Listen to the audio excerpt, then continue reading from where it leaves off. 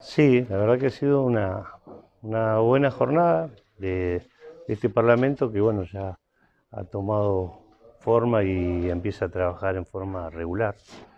Eh, nos queda a nosotros ahora la responsabilidad en Río Negro de recibirlo el 26, 27 y 28 de septiembre eh, con este, una temática específica que nosotros creemos que es importante, no solamente para Río Negro, sino para todas las provincias de la Patagonia, con este, la cuestión del hidrógeno verde, que, bueno, justamente también vamos a invitar a los gobernadores y a los diputados nacionales y senadores.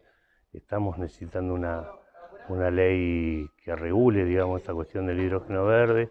Eh, vamos a tomar el desafío y creemos que tenemos que tener una buena jornada en Bariloche y empezar a tener logros también, porque eh, de eso se trata, digamos. Si, la región patagónica tiramos todos juntos, creo que podemos sacar este, cuestiones eh, importantes para, para, todos los habitantes de la Patagonia. No, es lo mismo eh, vivir en la Patagonia que, en Buenos Aires. Y, bueno, uno de los temas que se trató también fue la cuestión de los subsidios del transporte, que en su mayoría van a parar a, a los lugares de grandes concentraciones y bueno, y ahí el federalismo queda un poco de lado.